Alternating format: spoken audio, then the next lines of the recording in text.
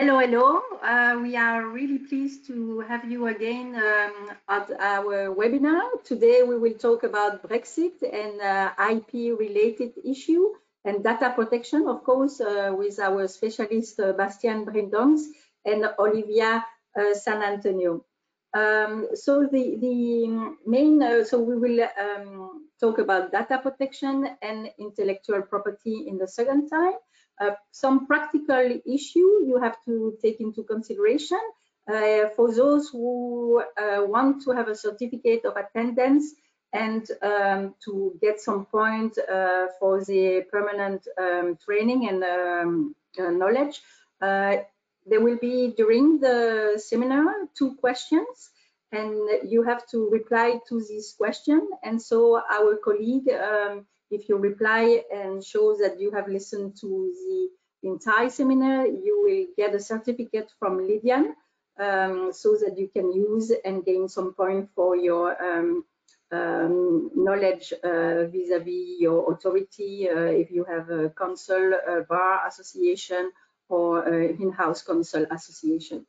The other point, uh, practical issue, you can download our presentation on the right side. There is a PDF uh, on your screen. And so you can download if you have to leave uh, for any minutes or or suppose everything what we're going to say is not uh, mentioned in this slide but most of, of them at least the bullet point. Uh, and so that it's quite a handful but we will go through the webinar and you will have uh, of course the slides going on so that uh, if you're not familiar too familiar with English, um, you can follow us. And I saw that in the attendee uh, part, there was a, a, few of our colleagues from the UK, and I welcome them. Uh, so they are checking what the European uh, leftover can say about them. But I suggest uh, to go directly, as we got for Christmas the famous deal. And um, we are really pleased that they managed to give that as a Christmas gift. And so uh, let's go on directly because we have very little time. And uh, first, um, Bastian will talk about the um, data protection issue and Brexit, and Olivia will maneuver uh, all the slideshows. So let's start, uh, Olivia. Let's move on. The floor is yours, Bastian. Yes, thank you very much and welcome uh, all to this uh, webinar on Brexit, IP and uh, data protection. So as uh, Annika already mentioned, the first part of our presentation is in fact a, a short overview of the consequences of Brexit for data protection. Uh, and I think we can immediately go to the next slide. The first question that arises uh, after Brexit or, or after the 1st of January 2021 is, uh, is the GDPR still applicable to UK companies? Um, and the answer is, in fact, uh, on the one hand, it's quite straightforward. On the other hand, there are some additional considerations. The principle is that as the UK has left the uh, European Union, the GDPR itself will no longer apply directly in the uh, UK and will no, no longer apply directly to UK companies. Um, what will apply to UK companies is uh, the GDPR as incorporated into uh, UK law, which is the so-called UK GDPR, and which is more or less a copy of the GDPR, the EU GDPR as it stands today. But so strictly speaking, the EU GDPR will no longer be applicable to UK companies. Uh, at least not on the basis of the first um, criterion of application of the EU GDPR, which is the so-called establishment criterion, uh, which says that the GDPR, the EU GDPR applies when you are a company or an undertaking that is processing data within uh, and that has an establishment within the EU. However, as you know, there is a second criterion, the so-called targeting criterion, uh, which is laid down in Article 3.2 of the GDPR and which basically states that controllers and processors that are not established within the EU, but outside of the EU, but which are either targeting EU residents or monitoring EU residents, um, the EU GDPR will apply to them because of the so-called extraterritorial application of the GDPR. So as a consequence, even though the EU GDPR does no longer apply directly in the UK and is no longer uh, a part of the law in the UK, UK companies may still be, a, be subject to the EU GDPR through this uh, second criterion, the so-called targeting criterion. That being said, as of the 1st of January 2021, the UK should be considered as a third country. Uh, so just like other third countries like the US, like India, uh, and like other countries which do not form part of the uh, European Union. And this has an impact on the one hand for EU and UK organizations in case of cross-border data flows, which we, we will discuss uh, in the next slides under, under B. And it also has an impact for UK-based organizations in case of application of this famous Article 3.2, the so-called uh, targeting criterion.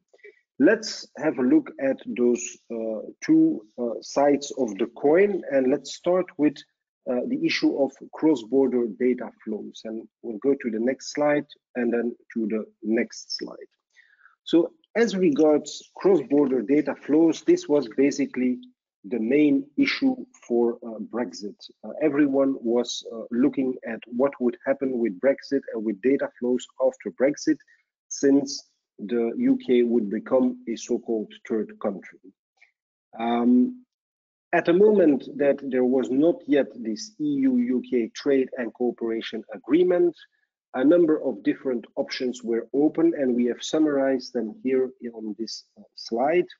Uh, basically, once the UK um, is being considered as a third country, um, as you know, the GDPR says that transfers of personal data to third countries are in principle prohibited, except if you have additional measures or additional items that are being uh, put in place.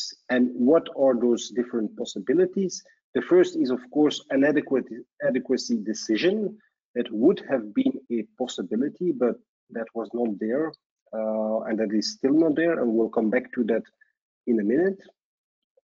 The second option, if you transfer data to a third country, is putting in place yourself as an undertaking appropriate safeguards. And those appropriate safeguards can uh, consist of, for example, binding corporate rules, or they can consist of standard contractual clauses. And, and also there, we had immediately the issue of uh, Schrems 2. As you know, Schrems 2 has um, rendered more strict the rules for cross-border transfer uh, or extra EEA transfer of personal data.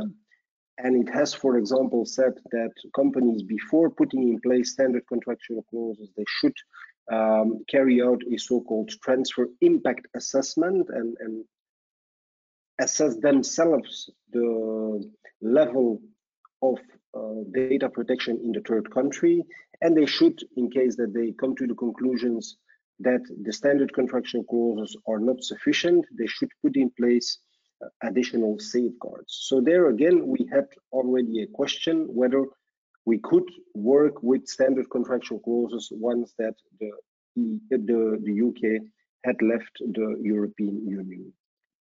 Of course, there are, there are also a, no, a number of other mechanisms foreseen in the GDPR, like uh, codes of conduct and uh, certification mechanisms.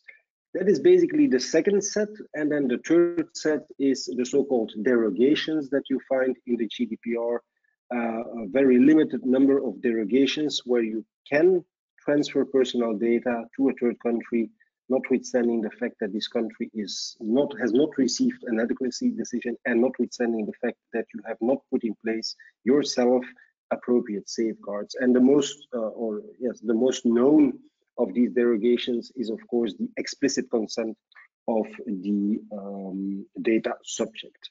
Now, this uh, slide uh, summarizes a bit the situation before the UK uh, EU Trade and Cooperation Agreement. Let's now look uh, at the next slide, which is with the EU UK Trade and Cooperation Agreement.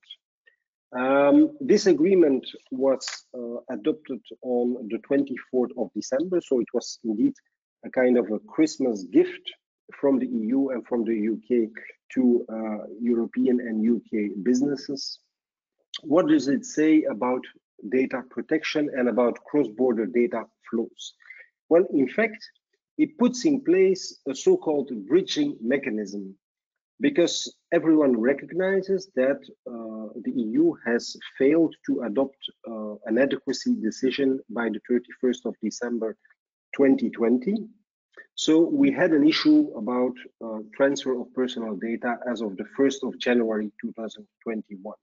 And in order to bridge that gap between the 31st of December 2020 and the date that a, an adequacy decision will be uh, adopted, um, this bridging mechanism was put in place.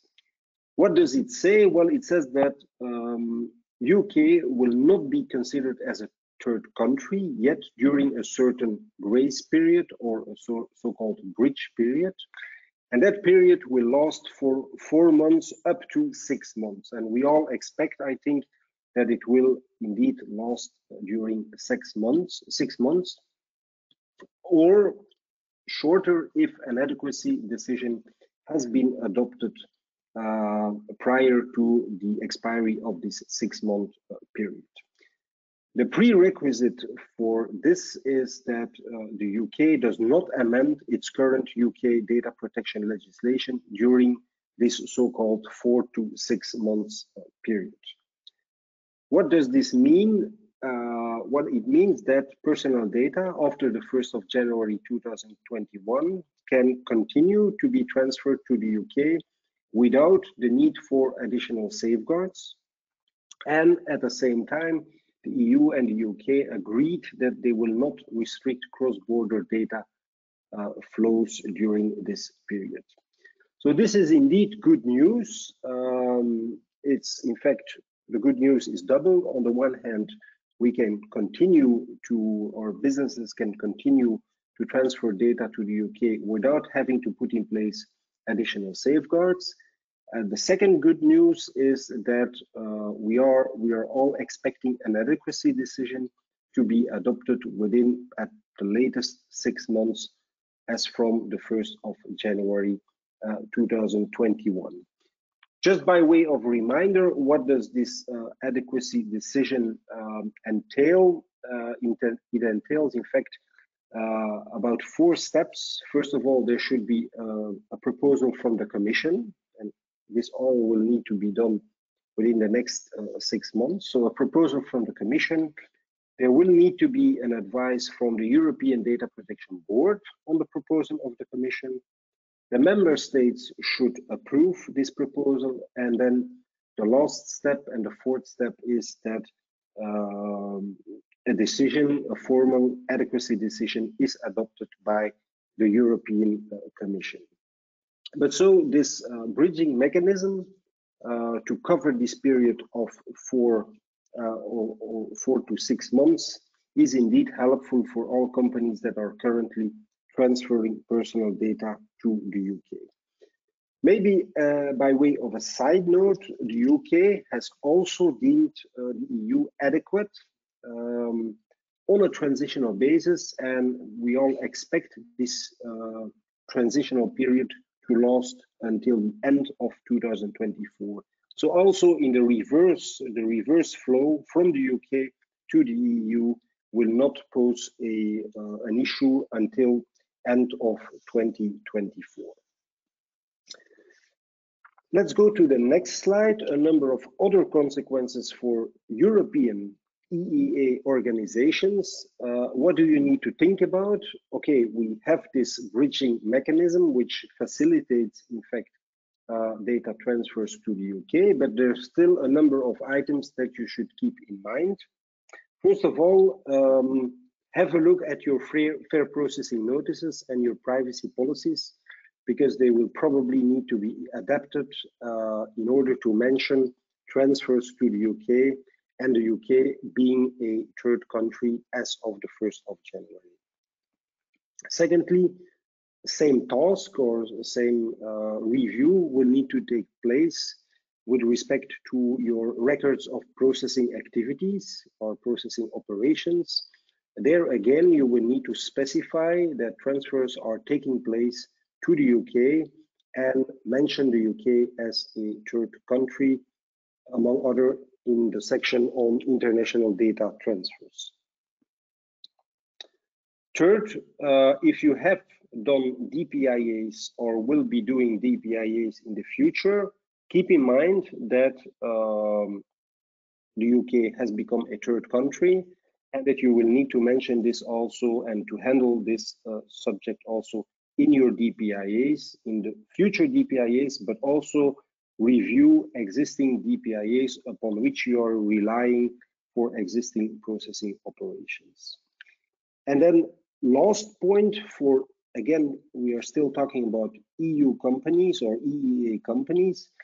EEA companies might need to appoint a representative in the UK. Why is that? Because, as I said in the very beginning, within the UK, uh, the EU GDPR does no longer apply, but the UK GDPR applies. And the UK GDPR contains clauses which are identical or similar to, uh, for example, Article 3.2 of uh, the EU GDPR, which is the so-called targeting criterion, and Article 27 of the EU GDPR, which contains the principle that if you are doing business or if you are targeting or monitoring data subjects uh, within the EU, but here within the UK, you need to appoint in certain cases a representative.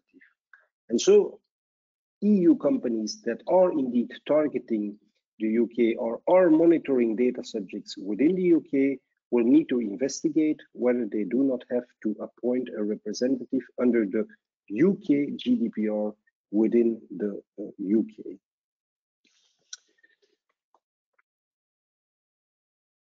The second uh, set of uh, slides and considerations is about the impact for UK-based organizations. And this may also apply if you have affiliates or subsidiaries in the UK. So what are those um, considerations? What is the impact for UK-based organizations? And we will go into more detail in the, in the following slides. First, the end of the one-stop shop mechanism. I will explain that in the next slide. Secondly, the possible appointment of an EU representative within the EU, so by UK companies, because of the application of Article 3.2 of the GDPR. And third, also from a UK perspective, the need to review and amend uh, policies. Let's look at the first uh, element, the end of the one-stop shop mechanism. So basically, as of the moment that uh, the UK left the EU, so on the 1st of January 2021, the EU does no longer participate in the one-stop shop mechanism. It will also no longer be able to act as a lead supervisory authority for binding corporate rules because it is outside of the EU. And as a result, UK-based organizations or undertakings will no longer benefit from this one-stop shop mechanism. That being said, when we read the EU-UK uh, trade agreement, it nevertheless suggests that there will be um, further quite close cooperation between, on the one hand, the ICO, and on the other hand, the European or the EU data protection um, authorities, including the European Data Protection Board. But formally speaking, the ICO will no longer be part of the European Data Protection Board. It will no longer participate in this one-stop shop mechanism, and it will no longer be able to act as a lead supervisory authority for companies or groups of undertakings that want to adopt BCRs for or under the um, EU GDPR. Is or are there any exceptions? Well, yes, we think there are indeed exceptions. Um, if you are a data controller with several establishments in the EU and there is one establishment within the EU or within an EU member state that meets the criteria for being a main establishment under the EU GDPR, you may still benefit from the one-stop shop mechanism, but then for your the, the, the part of your group of undertakings that is established within the EU and it excludes, of course, the uh, UK company. So what are the, the to-dos? Uh, first of all, uh, when you are in that uh, situation, first of all, select a new competent uh, supervisory authority within the EU if you uh, if there's any of your affiliates uh, that meets the, the criteria. Secondly, check whether additional notification of DPO, if any, is necessary to the competent supervisory authority. And last but not least, uh, again, review your website privacy policies, your fair processing notices to reflect this change of lead supervisory authority. That is uh, the first impact. The second impact, and we go to the next slide, is um, EU representative. So when you are uh, a UK company that is either targeting uh, data subjects within the EU or is monitoring data subjects within the EU and you are subject to the EU GDPR, you may need to appoint uh, an EU representative that is laid down in Article 27 of the GDPR. The principle is that um, the appointment of an EU representative is mandatory, except in a few cases. Uh, there are basically two cases. First of all, if you are a public authority or body, there is no need to uh, appoint an EU representative. second, second um, exception is where the data processing is occasional does not include the processing of either sensitive data or criminal data and is unlikely to result in a risk for the rights and the freedoms of natural persons. But you see that this exception is quite uh, limited. Question, in which country do you need to um, appoint an EU representative? Well, you need to appoint an EU representative in the country where your data subjects or the data subjects that you are targeting or monitoring are located. Uh, one of those EU member states, in one of those EU member states, you will need to appoint an EU representative. Remember that the uh, appointment of an EU representative does not um, is without prejudice to the, the liability of the controller or the processor that is um, appointing this representative. In other words, legal actions against the processor or the controller that is located or established outside of the EU are still possible. And then again, once you have um, appointed an EU representative, adjust your website privacy policy, your privacy notices, your fair processing notice to reflect uh, the fact that there is an EU representative. Last item on the list for UK companies, review and amend your uh, policies or fair processing notices uh, on a number of points. We have noted here three of them. First of all, EU representative. So whether you have appointed or not an EU representative and who is that uh, EU representative. Secondly, the correct supervisory authority. If you have changed lead supervisory authorities as a result of uh, Brexit, then you may uh, want to uh, mention the new lead supervisory authority that you have identified. And then, of course, um, make sure that you reference correctly either the EU GDPR or the UK uh, GDPR 2018 Data Protection Act uh, in your fair processing notices and privacy policies. And that is basically an overview of the consequences for um, EU companies and for UK companies on the issue of Brexit and data protection. Before I hand the floor to Olivia to start with the chapter on the consequences for intellectual property, we have a small poll question. And the question is, do you need to implement safeguards to transfer currently personal data to the UK? yes or no? And I will leave you some time to answer this question. Good morning, uh, everyone. Uh, as announced, uh, I will now further discuss the impact uh, of Brexit on intellectual property rights. Um, regarding intellectual property rights, we will discuss three topics. Uh, I will focus on the first topic, uh, namely prosecution of IP right, and then I will leave the floor to Annick to discuss the contracting and enforcement aspect of IP rights due to the Brexit. So, first of all, prosecution. As you know, IP assets and IP portfolio might have a very high value for a company. So it can be really important to, for a company to manage well uh, its IP rights and uh, to know which IP right uh, it has and what's the scope of protection and especially the territorial scope. With Brexit, um, the issue uh, of prosecution and the uh, analysis of the uh, IP portfolio is really important and some step might be uh, to have undertaken by companies.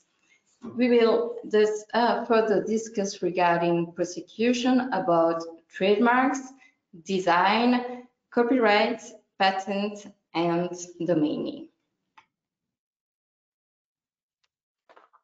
First of all, trademark. Here we will focus on EU trademark and not uh, over uh, Benelux trademark uh, registration.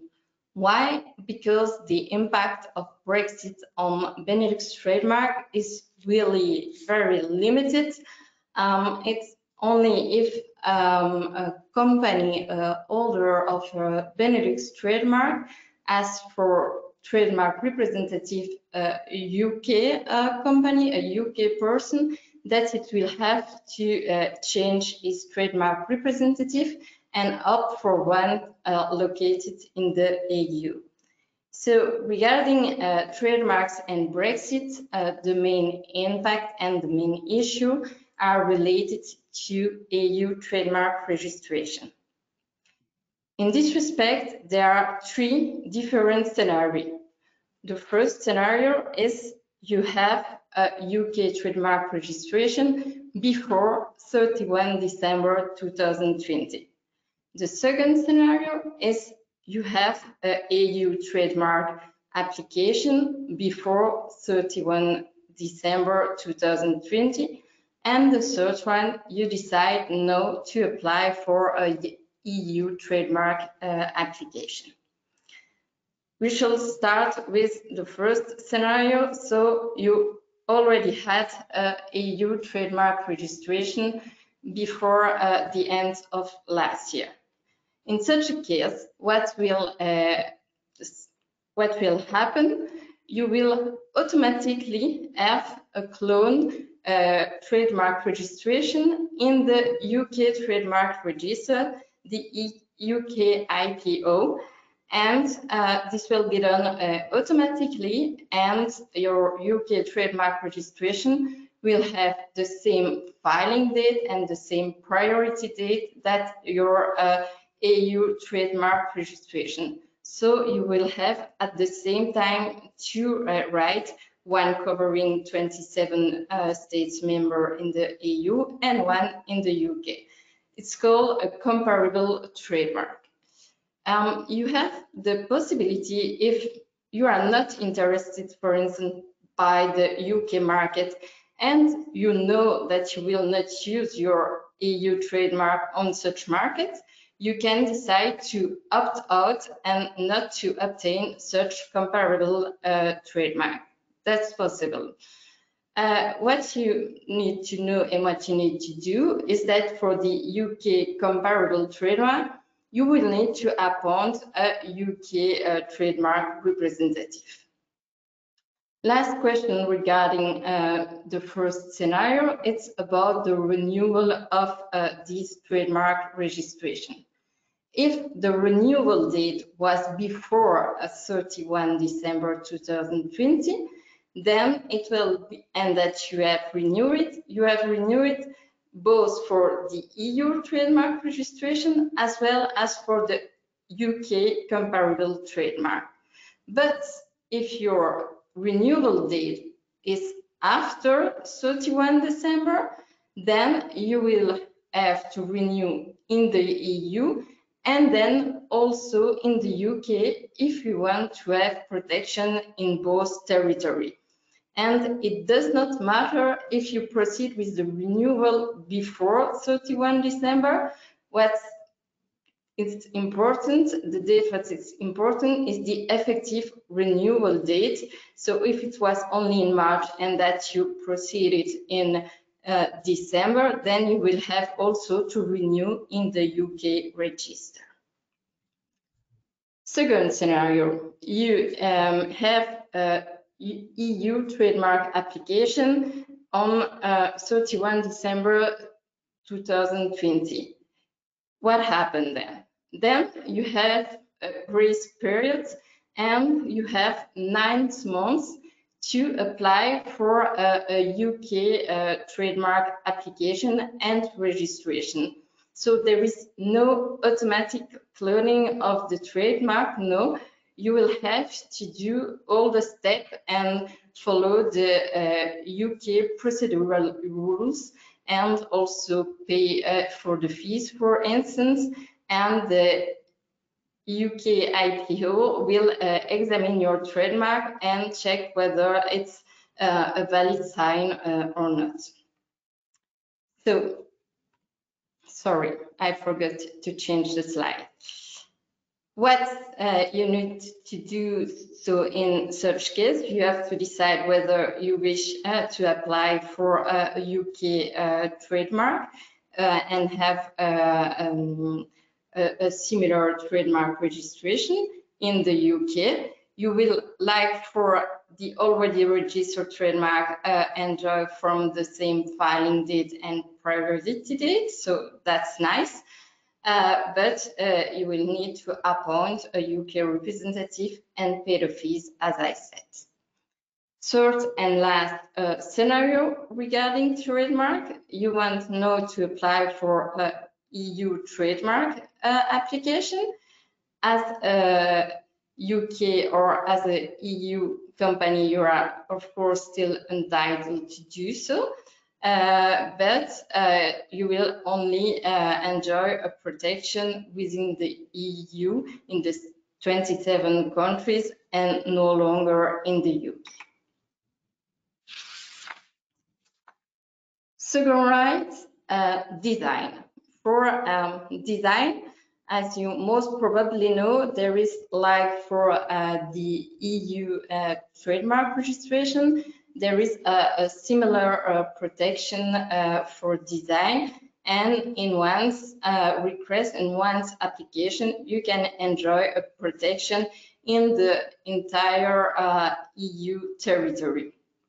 So um, the rules with Brexit and the impact of Brexit on this community design registration are, I would say, quite easy because they are the same as for trademark.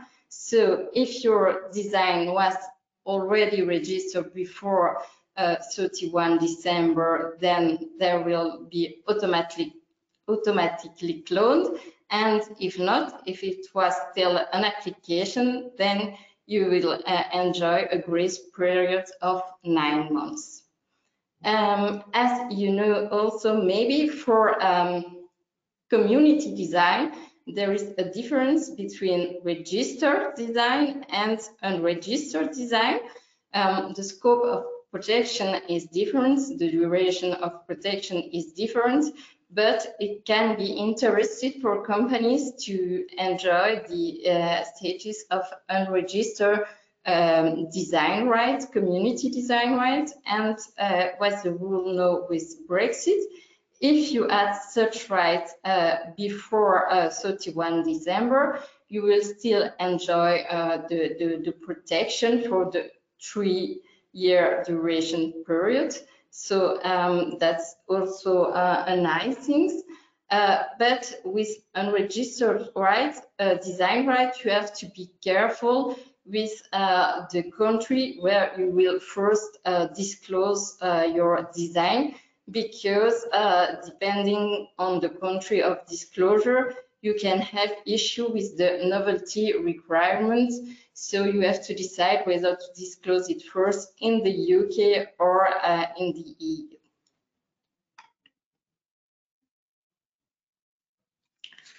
Third, IP rights, patents. Um, regarding patents, uh, Brexit has, I would say, mainly no impact uh, and all the European patent uh, application will still uh, remain uh, um, in force and unchanged. Um, why? Because um, UK will remain member uh, of the European uh, Patent Office, which is not really part of the EU. And so all um, the rules and all the European uh, will uh, remain uh, unchanged. So that's great news. Of course, the only things regarding patent is that if one day we have the unified uh, patent court, so the UPC, uh, the UK will not participate, but it's future only. Sorry, I forgot speaking about copyright. Uh, copyright is like a patent uh, in the sense that Brexit does not have really an impact of the uh, copyright and copyright protection for EU and UK uh, companies. Why? Uh, because uh, most of the rule regarding copyright depends on international treaties uh, like the Berne Convention. And since these countries are all member of these conventions, the rule of this convention will still apply, like the national treatment, the automatic protection, and uh, uh, the requirement for protection. So we can uh, say that most EU or UK work will still enjoy protection in UK or in EU. Um, that's for copyright. Then beside copyright, you also have uh, database rights. Uh, with the Brexit for database, there is an impact since UK uh, company are now uh, excluded from uh, EU protection of newly created uh, database and UK businesses can or ever relied on UK database right? And also all future and upcoming uh, EU legislation like the DSA and the DMA um, that for which we speak a lot the last week with the two uh, draft proposal will not be applicable for UK. And last uh, but not least, uh, IP rights, uh, I will discuss regarding uh, prosecution uh, uh, aspect, its domain name, and more particularly that .eu domain name, because with Brexit there are some changes for UK businesses and companies. Um, the latter are no longer entitled to use such extension. Um, and there will be a withdrawal revocation um, after the 31 March uh, uh, 2021. So we are still in a sort of transitional period, I would say. And during this period, there are two options for UK company, or they also have an establishment in the EU, and then such EU establishment can become the owner uh, of uh, this uh, .eu domain. But if it's not the case, then uh, the UK business has to migrate to another uh, extension. That was uh, all the, the, the, question regarding uh, prosecution. And now uh, one uh, question regarding a pool and just to see whether you attended well this webinar. Um, is a UK business allowed to register for a .eu domain name as of 1st January 2021? Yes or no? Bonjour, euh, j'espère que vous avez bien écouté Olivia. Manifestement, je reviendrai après sur l'épaule. Euh, écoutez bien parce que je crois qu'il y a encore beaucoup de confusion euh, dans, les, dans les réponses. Mais bon, dans, pour ce qui concerne les contrats, euh, ben, fatalement, ça va avoir une répercussion euh, hyper importante en ce qui concerne euh, l'aspect la, territorial. Sorry, I forgot that I was speaking English. so I switched back to English. Um, so, um, of course, the aspect of con uh, on contract, the, the, most important issue is the uh, territorial scope of the contract.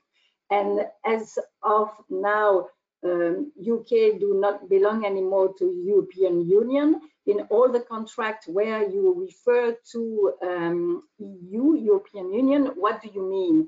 And of course, uh, regarding intellectual property, um, the court will go and see what is the intention of the party. And of course, if you don't do anything, we of course advise you to specifically make addendum to your contract to specifically clearly make whether or not UK is still uh, part of the contract.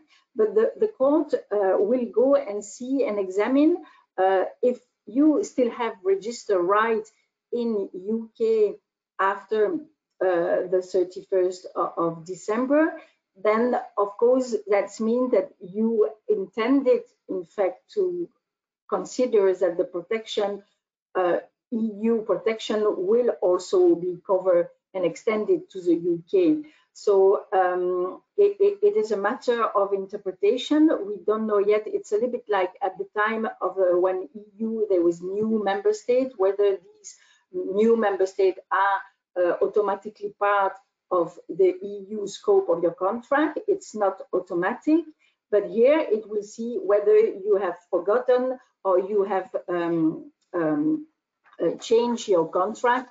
And, and, basically the advice uh, is to provide, go through all your, your, your contract and, and really check uh, whether you need to specify or not whether you want to include it's advisable. Also reference to eu legislation. Um, if um, it's provided for eu legislation that means that it's not necessarily uk legislation as of uh, the 1st of january. So you really have to go through all these details and do a due diligence for your contract. So next is also uh, very important um, is the enforcement of your IP rights.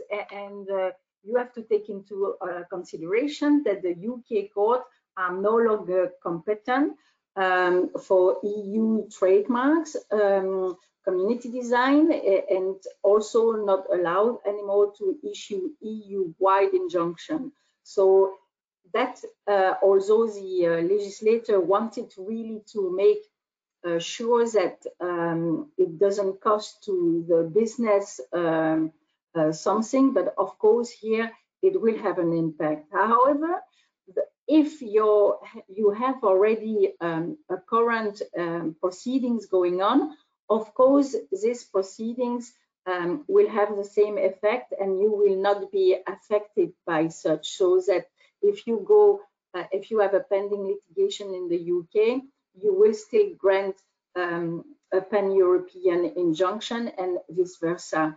Uh, but of course, if you have a new um, uh, case going on after uh, uh, starting as of 1st January, then you will no longer have a new pan-European injunction and you will need to also litigate and introduce a new action in the UK to have your right uh, recognized uh, in that country.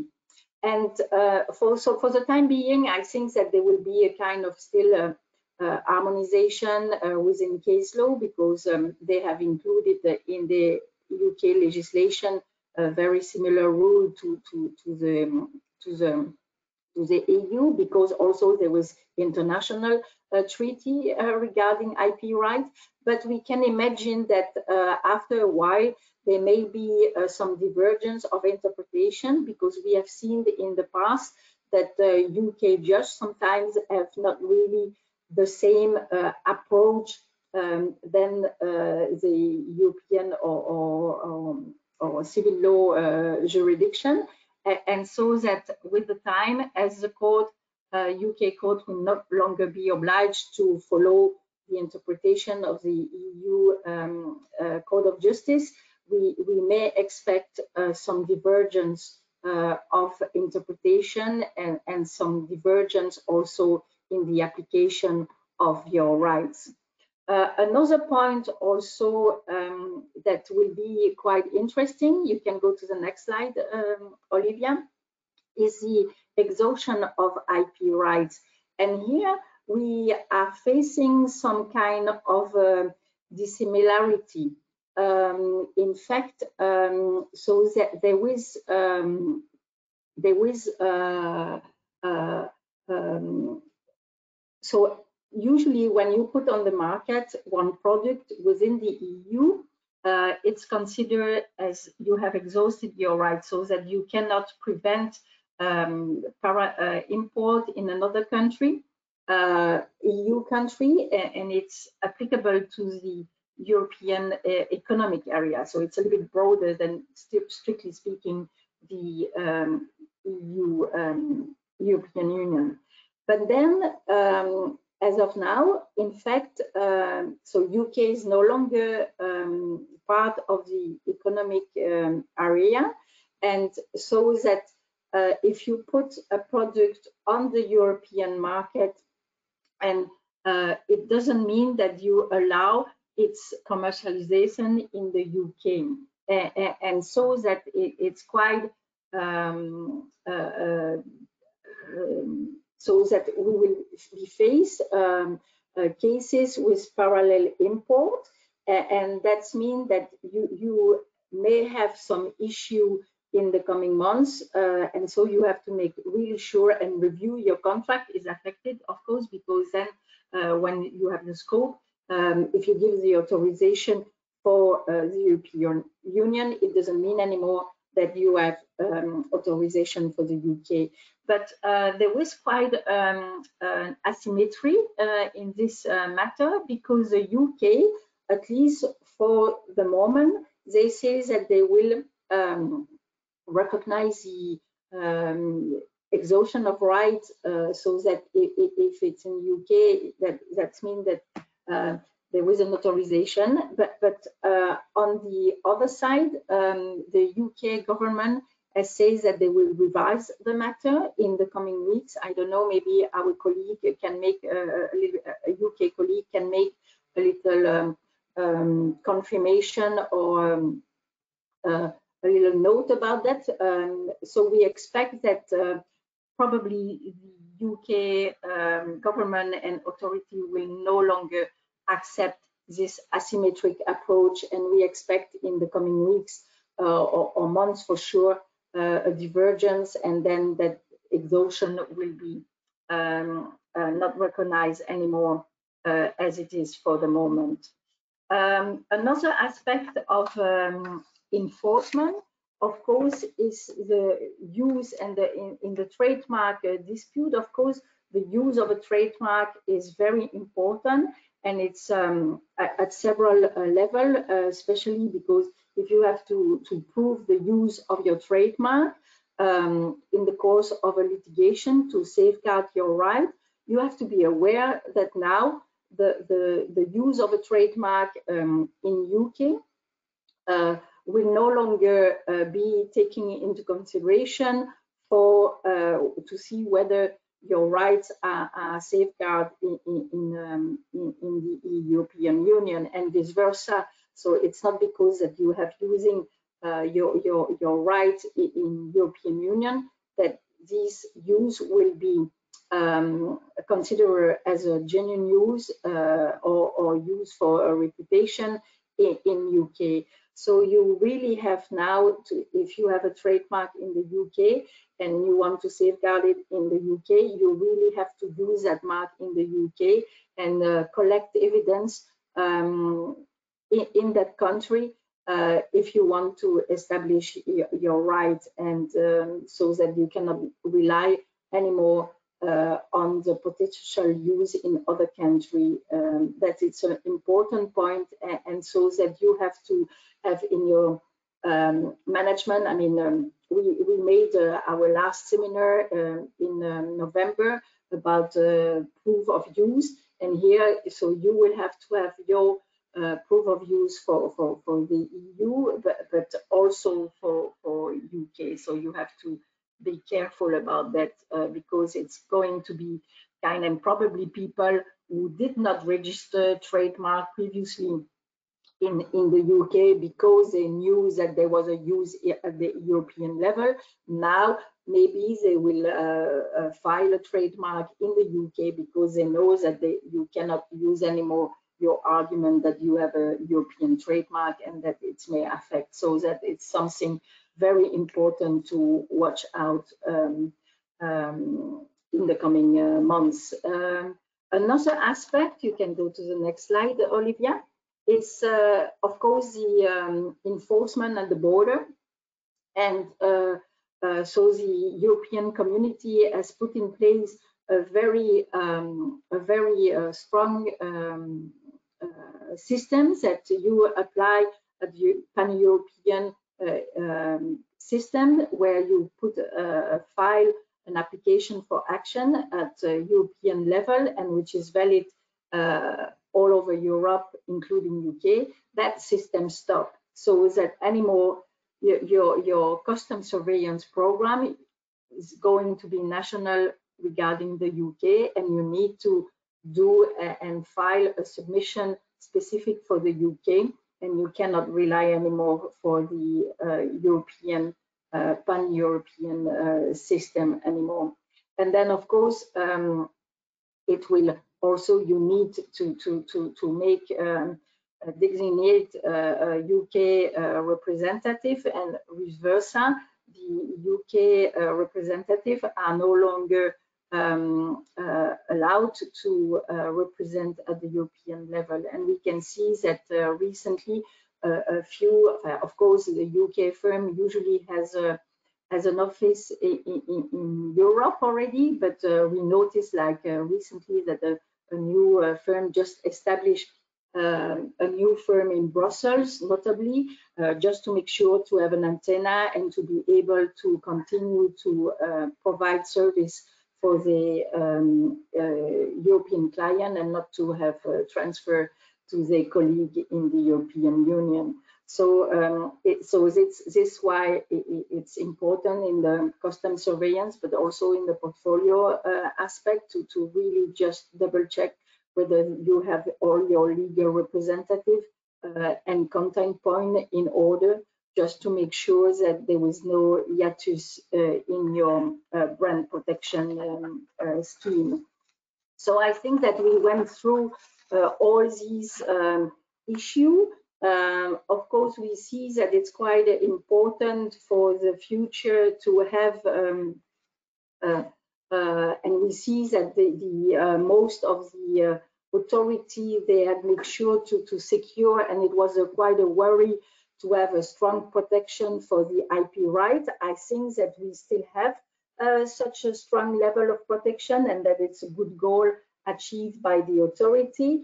Of course, there was a lot of um, um, interrogation uh, question uh, that we will come in, the few uh, months uh, to clarifying uh, standpoint of view.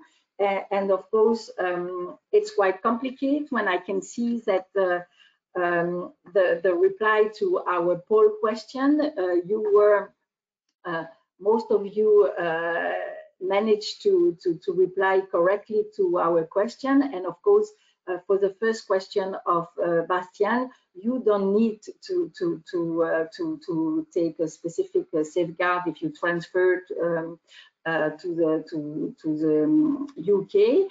And also, but I see that from the response uh, regarding the domain name issue, if a UK business is allowed to use um, uh, EU domain name if it's not located there. No, uh, they will have uh, the EU domain name is reserved for the EU uh, location um, businesses, and there you really have to to to review your your strategy and and change your your your your, your domain name basically.